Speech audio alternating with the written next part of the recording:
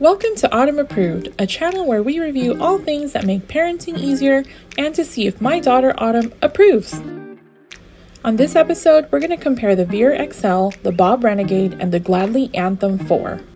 These three wagons have very similar aesthetic and can fit at least three children.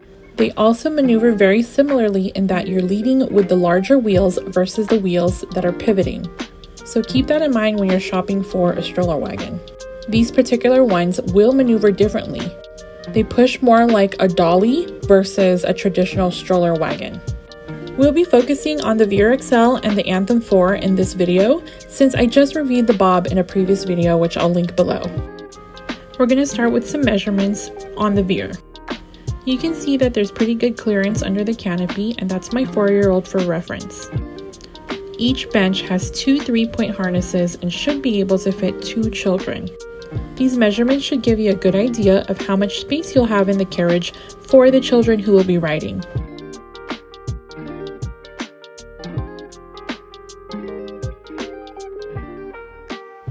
The sidewall measurements vary because there's a slight curve in the framing.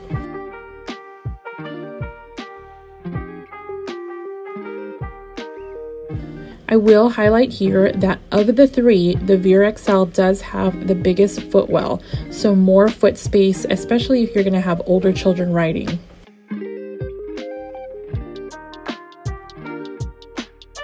The wheel measurements are as follows.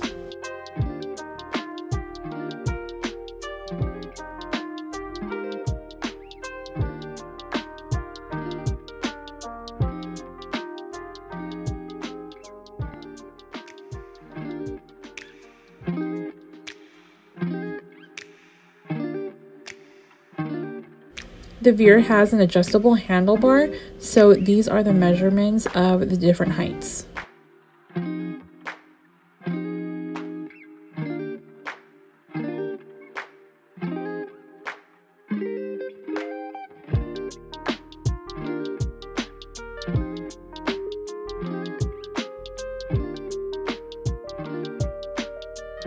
The Veer comes with a snack tray that snaps on and this is how you fold it down.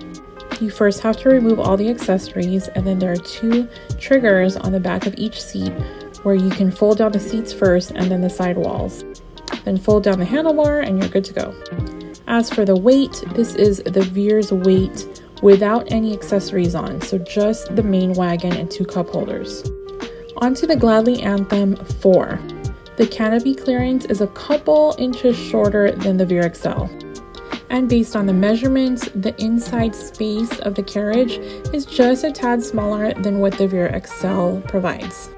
And you can notice here that each seat does still have two three-point harnesses per bench, so you can fit two kids per bench, but it does have more fabrics than the Veer. One of the draws of the Veer is that you can hose it down, and this one you would have to spot clean the fabrics, but it is a more comfortable seat for the child. And the handlebar does not adjust, so that was just the regular height of the handlebar. The wheels, however, are the exact same size as the Veer XL.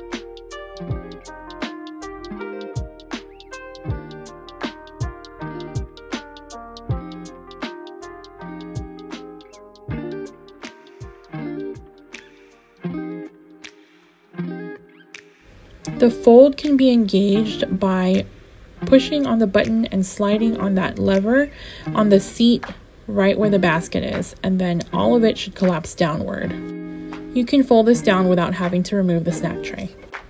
The basket is also removable in case you want to stand it up to fold. As for the weight, it does weigh a little bit more, but that's with all of the accessories on the wagon, including the nap mat. All three wagons do have a similar brake system where it is just a pedal and they do come with certain accessories. All of them come with a parent cup holder and a snack tray, but only the Anthem and the Bob come with the canopies.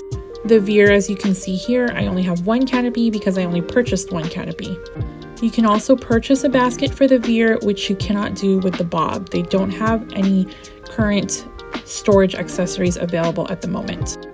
The Anthem, however, does come with the storage basket as well as the nap mat. Please check out the videos of the Veer and the Anthem's two-seater versions for any terrain footage, and I hope that this will help you make a decision that's right for your family. Till next time!